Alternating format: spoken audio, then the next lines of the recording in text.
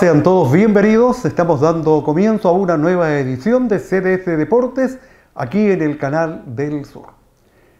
En el programa de hoy tendremos eh, un invitado en vivo, en directo para conversar. Hemos estado realizando programas destinados a recuperar de nuestros archivos algunos hechos y entrevistas importantes que hemos realizado durante el año pasado y en lo que va de este año. Pero en esta oportunidad hemos invitado a Ramón Paredes, que es eh, profesor y técnico de la Escuela de Básquetbol Femenina de Ancú. Hay muchas novedades. Eh, nos interesa que nos cuente un poco de qué forma ha vivido toda esta paralización de actividades en la Escuela de Básquetbol Femenina, eh, cómo se están comunicando con, con las chicas que participan en cada una de las series de la Escuela de Básquetbol cómo es la relación también entre los técnicos. Ha habido también una serie de capacitaciones que los entrenadores están desarrollando a través de Internet. También eh, hablaremos en torno a los Juegos de la Araucanía, que me parece que definitivamente han sido suspendidos. En fin, toda una serie de novedades que nos trae en esta oportunidad Ramón Paredes, que es nuestro único invitado al programa de hoy. Vamos a hacer una pausa con eh, nuestros avisadores. Ya estamos de vuelta hablando con Ramón Paredes. Servicio de vulcanización y cambio de aceite de los hermanos Guayquenenen. Una empresa familiar forjada en base al esfuerzo y la constancia, trabajando solo con productos de primera calidad. Aceite Shell, Móvil, Castrol, Chevron y Federal en todas sus variedades. Cambio de aceite y engrase para todo tipo de vehículos. Servicio de vulcanización rápida y segura. Gran variedad de filtros y lubricantes para rapidez y buen servicio, prefiera los hermanos Guayquenenen en su nuevo y moderno local de calle Ricardo Lica Díaz, camino al Agua Potable, número 75 en Pudeto Vasco. JB Toners en Ancud es el mejor y más económico servicio de tintas y toners para fotocopiadoras e impresoras. Mantenemos nuestra oferta de fotocopias a tan solo 30 pesos y ahora también servicio de fotocopias a color y tintas en general para recargas. JB Toners amplió su servicio librería para la temporada escolar con gran oferta de cuadernos universitarios a tan solo mil pesos entre una gran variedad de artículos escolares. JB Toners, ayudando a la economía familiar en esta temporada escolar. JB Toners les espera en Blanco Encalada 750 a un costado de la Catedral de Ancud. Es tiempo de cuarentena en todo el país. Ya lo hemos conversado en reiteradas oportunidades. Las actividades deportivas se encuentran suspendidas. Entre estas actividades un hecho deportivo que marcaba un poco la pauta de toda esta temporada era el campeonato Febisur, el básquetbol femenino que se hacía presente con una gran competencia que mm, abarcaba varios meses desde la zona de Temuco hasta el sur austral de nuestro país. Hemos invitado en el programa de hoy para conversar en vivo, en directo con Ramón Paredes, que es eh, profesor de la escuela de básquetbol técnico, porque se han hecho algunas actividades y bueno, queremos ver qué va a ocurrir a futuro con, con Febisur. Primero que nada agradecer la presencia y la valentía de Ramón por venir hasta, nuestro, hasta nuestros estudios y conversar aquí con, nosotros. ¿Cómo le va, eh, don Ramón? Muy bien, don, don Juvenal, un agrado nuevamente, como te dice, sí, valentía. Eh, y bueno, siempre un poco es grato hablar de novedades, eh, no son muchas, pero sí algunas novedades un poquito, eh, sobre todo a nivel macro, de, las cosas que pueden venir de aquí al término o a la media, mediana tranquilidad o a la vuelta a la normalidad. Bueno, a ustedes como, como escuela de básquetbol de Ancud, de la competencia ¿cómo, cómo los, los tomó esta situación que se veía venir, no? Pero que de un rato para otro significó la caída de todas las actividades deportivas. ¿Cómo nos, cómo, sorprendió a ustedes con eso? Bueno, primero como club nos, nos, eh, teníamos un año bastante esperanzador. Eh, teníamos un, un, año donde, o sea, estábamos planificando un año donde eh, existía mucha ilusión de, de, mejorar lo hecho, de las cosas muy buenas que hemos hecho los años anteriores. Eh, tuvimos un diagnóstico lindo en el verano en, el torneo de Copa Castro, ¿cierto? Con, varios clubes femeninos del país. Y este año estamos enfocados un poco a eso. El proyecto nuestro nació eh, bajo el alero de un desarrollo y, este año queríamos, queríamos de alguna forma concretar muchas de esas cosas. Y lamentablemente eh, la situación de salud, situación de pandemia, obligó a, suspender esto y de alguna otra forma nosotros como club Escuela Vasco Lancú nos, eh, nos hizo replantearnos algunas cosas eh, a través de la nueva normalidad que, se pretende realizar. Pero ustedes, de hecho, esta temporada ya la habían iniciado, tenían todo un programa de actividades, de, de entrenamientos, de trabajo que estaban ya comenzando a desarrollar, ¿no? De hecho, nosotros eh, por, por, años hemos estado, empezado a trabajar nuestro, nuestro año, nuestra eh, actividad la última semana de febrero. Por ende, ya llevamos dos, tres semanas de trabajo previo a esta suspensión de actividades de clase y por ende de, actividades deportivas. Entonces ya teníamos tres semanas de trabajo donde estábamos de alguna otra forma ya alineándonos y, empezando ya con, con, con, el bichito y estábamos a puertas de, de iniciar la liga y lamentablemente eh, vino esto y fue como un balde de agua fría pensando en la en la ilusión y, la, emoción que nos daba eh, enfrentar y iniciar la liga. ¿Se imaginaron que esto podía ser tan extenso o en algún minuto pasó por su mente que pueda ser una cosa circunstancial? Bueno, yo creo que muchas veces uno, uno no ve el riesgo o no ve la realidad muchas veces producto de la, de la poca empatía o la poca credibilidad hacia los medios, hacia eh, el, tema social, político, ¿cierto? Y sobre todo lo que venía pasando desde, octubre del año pasado en Chile, donde había muchas cosas suspendidas, pero de alguna otra forma también igual se estaban realizando. Eh, y cuando ya se vio que esto eh, a nivel gubernamental, a nivel país, a nivel ya de todas las instituciones gubernamentales, eh, vimos que esto ya era, era mucho más, más grave. Eh, era, pensamos también que podía ser de mediano, mediano o de corto plazo, pero ya viendo la realidad a dos meses de, de, las suspensiones de las actividades, vemos que esto eh, se puede extender dos, tres meses más tranquilamente, si es que no es más. Ahora, ¿la Liga Femisur como, como liga les instruyó algo a ustedes al momento de producirse esta para de las actividades? No, la Liga cuando, cuando suspendió la reunión de presidente y por ende el lanzamiento oficial de la Liga una semana antes del inicio de, esta, eh, todo quedó en stand-by a espera de, eh, de, oficios, digamos, de alguna otra forma a lo que diga el Ministerio o lo que diga el Estado. Eh, nosotros ya pasando tres semanas aproximadamente de pasado empezamos a, a gestionar, a hablar algunas cosas con, con la directiva, con, con Andrea eh, Bilbao de Valdivia, ¿cierto? que tiene doble cargo, cargo de secretaria y a la vez también entrenadora de, la Universidad Austral. Entonces empezamos a generar algún lazo de, intercambio con los demás cuerpos técnicos, de los demás clubes.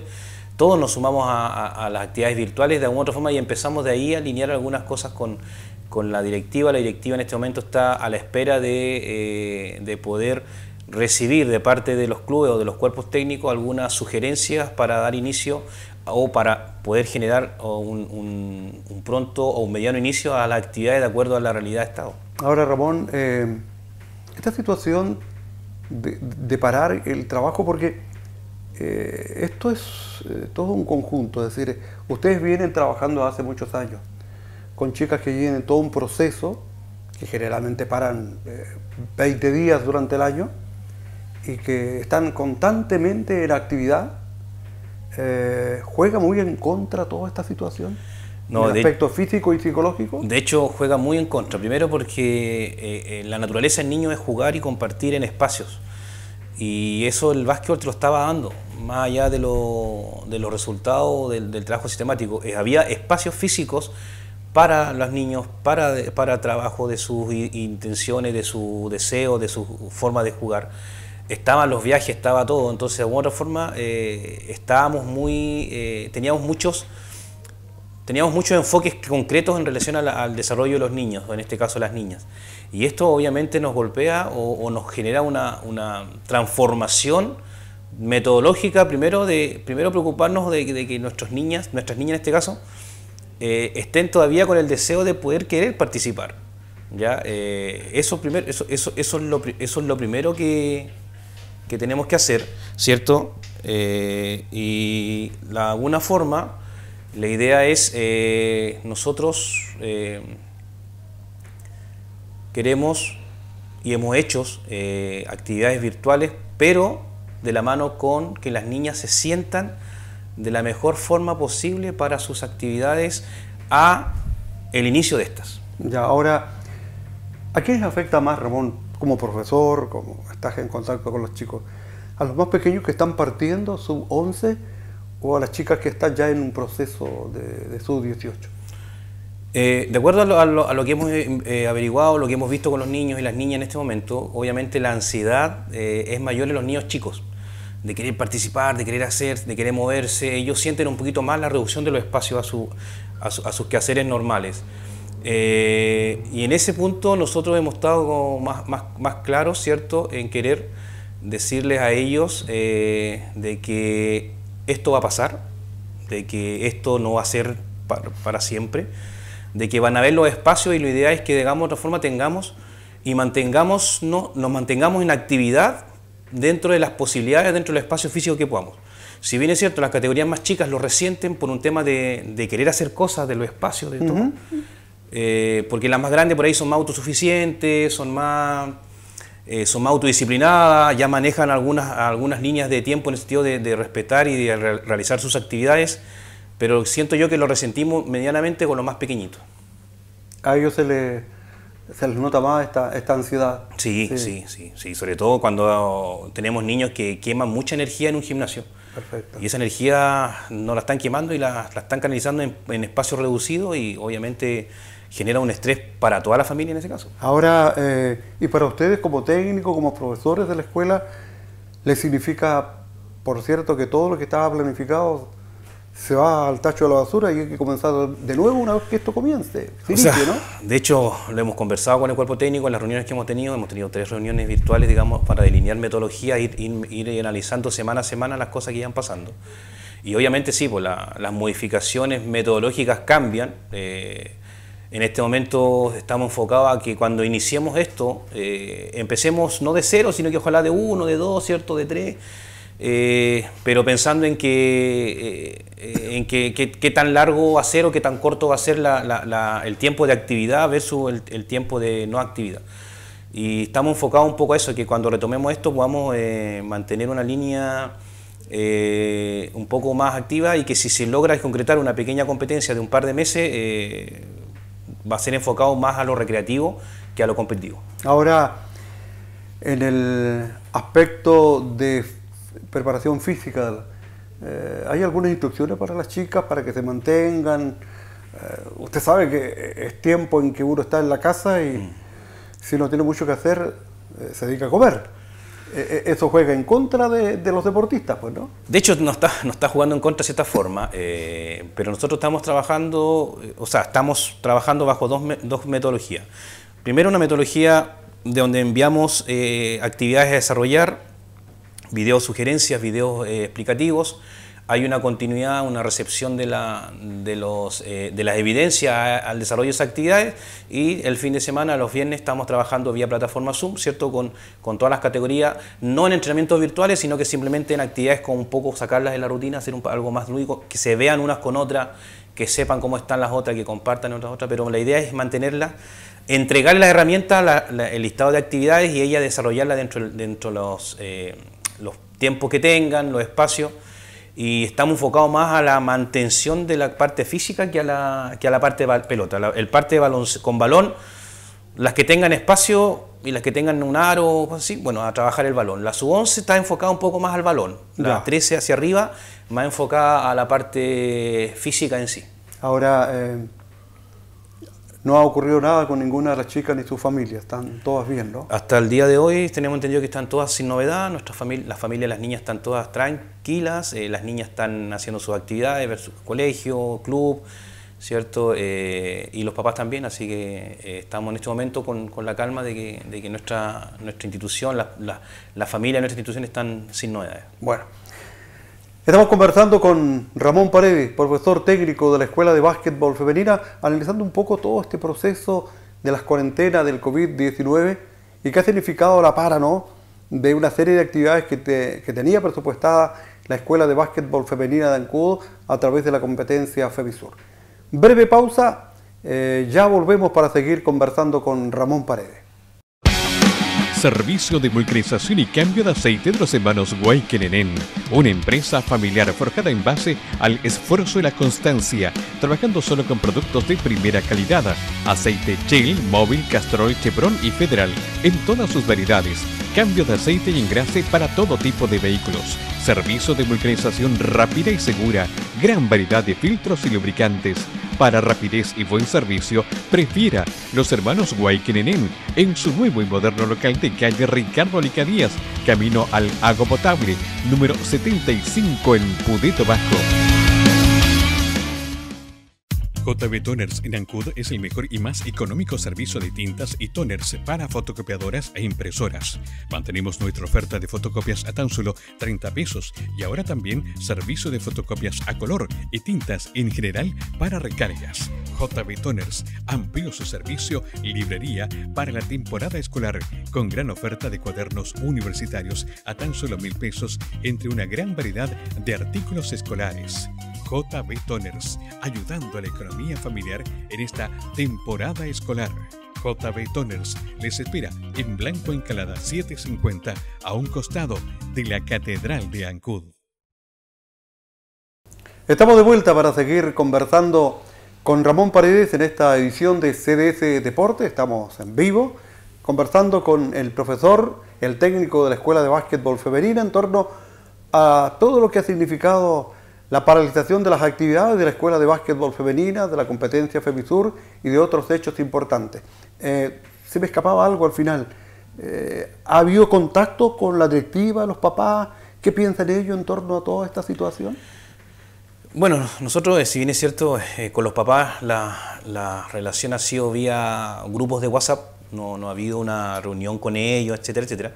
Sí está en carpeta, está en carpeta porque hemos tenido dos, tres semanas reuniéndonos con las niñas, entonces necesitamos también la fam famoso con, eh, asamblea de padres, ¿cierto? Vía WhatsApp, perdón, este, vía plataforma Zoom, porque también de alguna otra forma hay adquirir algunas eh, aprensiones desde, los, desde el punto de vista de los padres, porque las niñas nos dieron sus aprensiones, nos dieron sus sensaciones eh, o cómo se sentían en casa, pero necesitamos también, o, no, o, o, queremos también saber la de los padres.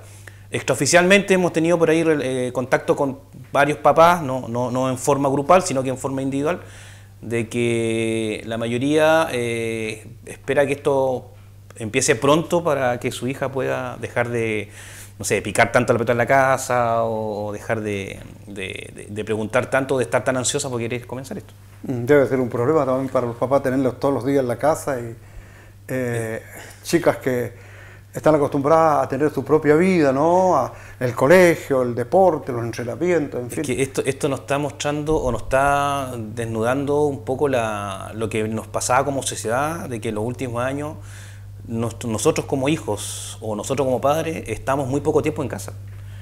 Y el estar hoy día en casa con los hijos en tiempo casi completo o gran parte del día, obviamente eh, está desnudando esas falencias de, de familia que, que antes existía por naturaleza. Claro, eh, va a ser diferente el retorno, el regreso, lo que se llama nueva normalidad, como quieran llamarlo, va a ser diferente. Yo creo que no solo Chile, a nivel mundial va a haber otra mirada en torno a lo que significa primero que nada eh, los encuentros de familia, que se van a valorar, valorar mucho más ¿no? que esa vida de estar haciendo cosas fuera de la casa, de llegar un rato, de no llegar. Yo creo que, que va a ser diferente la vuelta de esto, ¿no?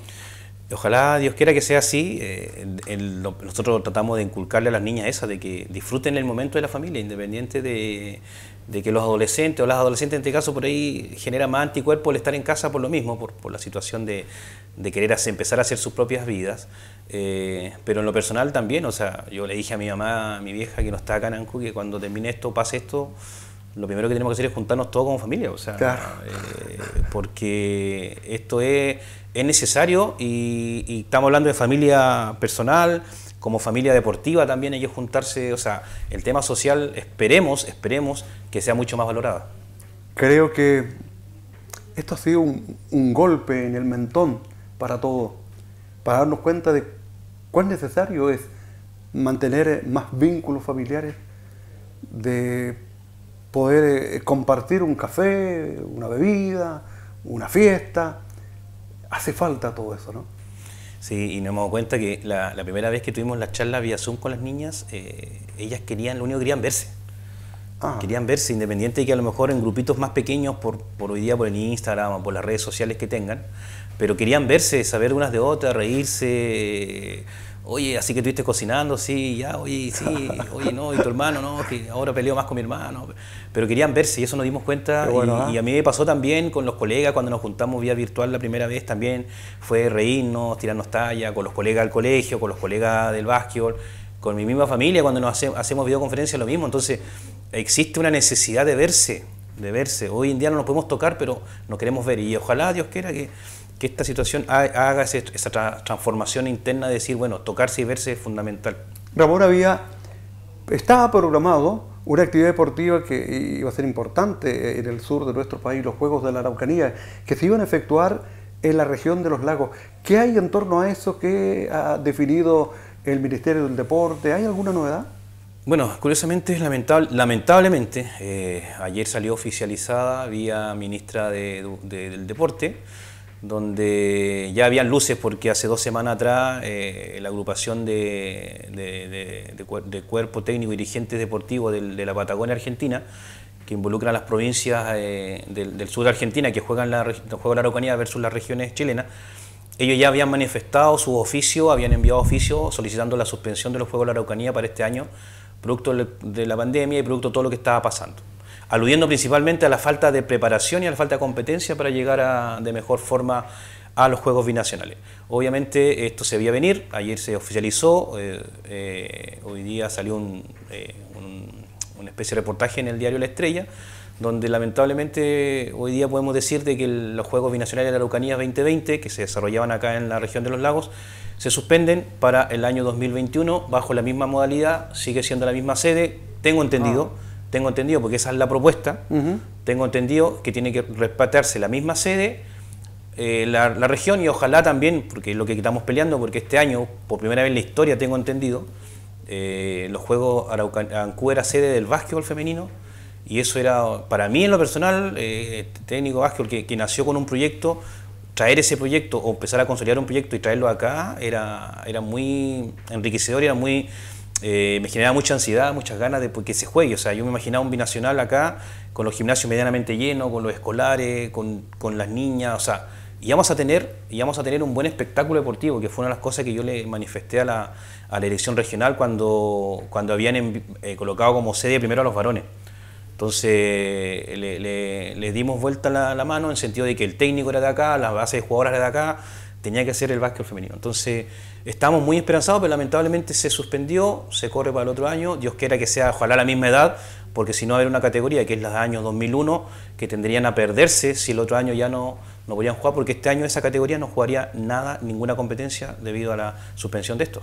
Por lo demás, eh, para ti es un desafío mayor porque vienes eh, trabajando dos años como técnico del equipo de básquetbol femenino en los Juegos de la Araucanía, ¿no? Y esto podía ser como la guinda de la torta. O sea, de hecho, el, proyecto cuando lo iniciamos con Rodrigo María Ángel, que el que me, asiste, eh, era ese. Fuimos con una camada, un nuevo proceso, sacamos su tercer lugar. El año pasado tratamos de corroborar bajo el mismo proceso, mezclando nuevas niñas y sacamos un segundo, estando ahí de poder ganar esa final y este año nuestro objetivo mayor era, obviamente era sí o sí obtener el título en nuestra casa con nuestra jugadora y estábamos enfocados en eso. Eh, pero bueno, esto fue un... Era esperable, ¿cierto? Pero igual confiamos un poquito en, que a lo mejor como era en noviembre, pero bueno, lamentablemente hoy en día si se suspenden los Juegos Olímpicos, si se, suspenden los, los, mundiales de básquet, ¿cierto? No, no podían no suspenderse los, binacionales. Así es. Bueno, eh, ¿Cómo ha aprovechado este tiempo? Me parece que, has tenido eh, muchas capacitaciones a, través de Internet, han estado trabajando, ¿no? Sí, de hecho, eh, bueno, una de las cosas que, hemos, que he podido aprovechar y he podido de alguna forma echar mano es a las capacitaciones vía online que hoy en día están siendo mm, eh, más continuas, producto de, la situación ¿cierto? de pandemia, a nivel de, como le contaba anteriormente, a nivel de FEMISUR, Hemos tenido ya cuatro, tres charlas eh, vía Zoom. La primera fue exclusivamente compartir metodología, ¿cierto?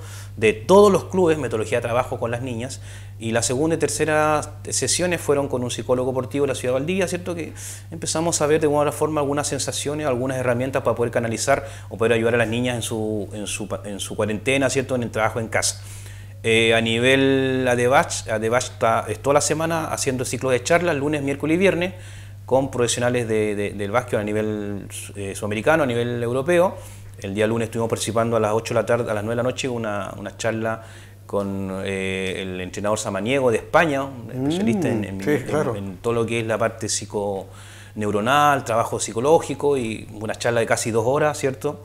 Eh, compartiendo con, con entrenadores de, éramos 130 entrenadores de todo Chile y de Argentina también y eh, eh aparte que todos los fines de semana, hoy día está Fernando Duró y hay otro, un, ecuatoriano, si no me equivoco. Eh, y a nivel de Adebach y Federación de Básquetbol, el día sábado que pasó hubo una, una reunión a nivel nacional donde todas las regiones, todas las zonas del país tuvieron que, eh, tenían que emitir un, un, informe en relación a la cuantificación del básquetbol federado femenino. Y a mí me, me, designaron como representante de la zona Chiloé, ¿cierto? de la provincia de Chiloé para el básquetbol femenino.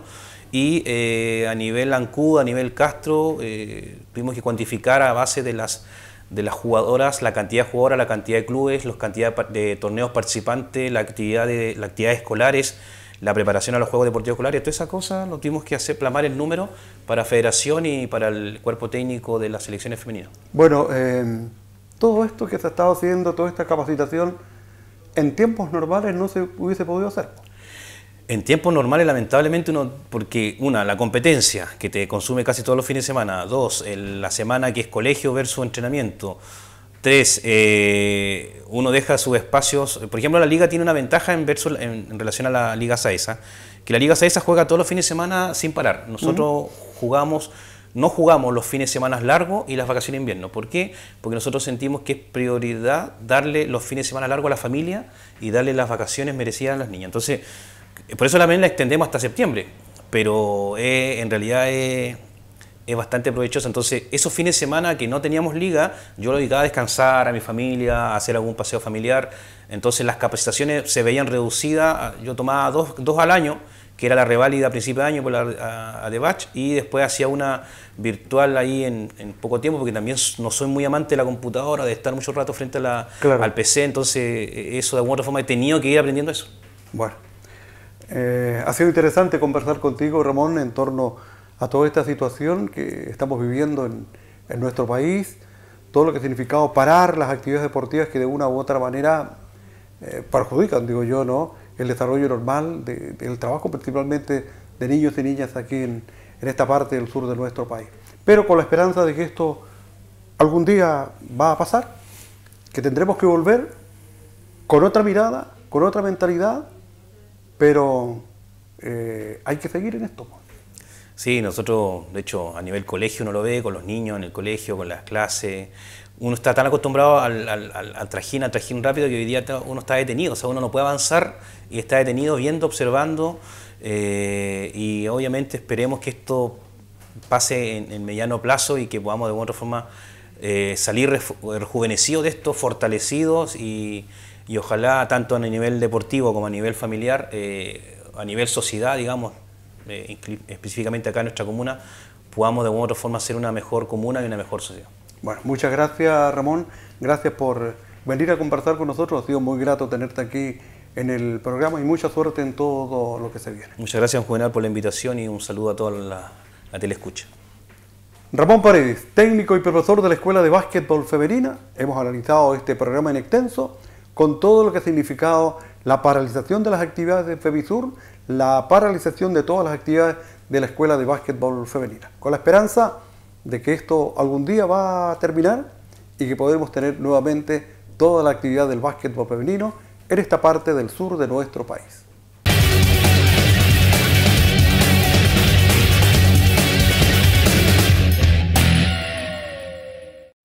Estamos así llegando al final, termina aquí otra edición de CDS Deportes a través del canal del Sur, con un invitado de lujo en el día de hoy, Ramón Paredes, que nos ha hablado un poco en torno a la Escuela de Básquetbol Femenina, en torno a FEMISUR, los Juegos de la Araucanía, en fin, una serie de novedades que nos ha entregado en esta oportunidad. En la confianza de que estén todos muy bien y pidiéndole que se cuiden mucho, si Dios quiere nos volvemos a encontrar en una próxima oportunidad. Gracias.